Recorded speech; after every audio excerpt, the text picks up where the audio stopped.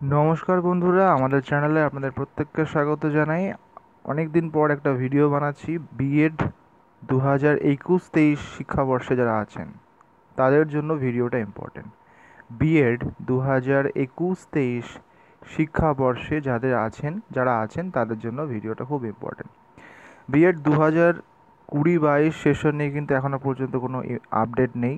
খুব দুঃখের ব্যাপার। ইউনিভার্সিটি পুরোপুরি চুপ, জানি না কেন। ফাইনাল টিচিং বা এক্সাম বা এক্সাম ফর্ম ফিল আপ কোনো কিছু নিয়েই আপডেট নেই। খুবই বাজে একটা খবর। জানি না ইউনিভার্সিটি কী মানে কী ভাবছে বুঝতে পারছি না।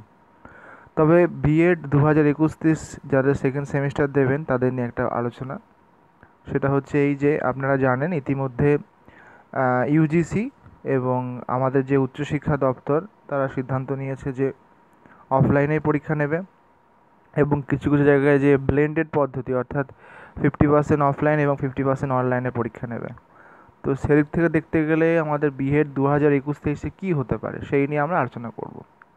দেখুন, আগেই ঘোষণা করা হয়েছিল যে সমস্ত ইভেন্ট সেমিস্টার যেগুলো আছে, সেই ইভেন্ট সেমিস্টার কিন্তু সমস্ত কিছুই অফলাইনে পরীক্ষা হবে।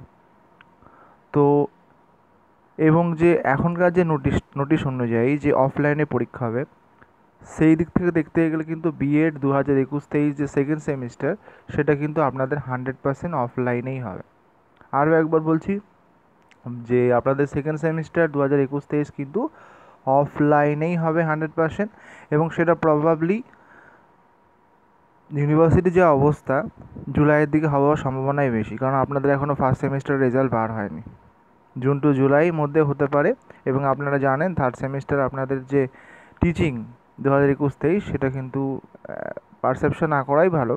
কিন্তু অ্যাজ পার প্রিভিয়াস রেকর্ড অনুযায়ী কিন্তু সেপ্টেম্বর আগস্ট থেকে কিন্তু আরম্ভ হয়। তো সেই থেকে দেখতে গেলে আমার, আপনাদের এক্সাম কিন্তু জুলাই ফার্স্ট উইক থেকে আগস্টের মধ্যে এবং এক্সাম মোড সেটা কিন্তু অফলাইনেই হবে।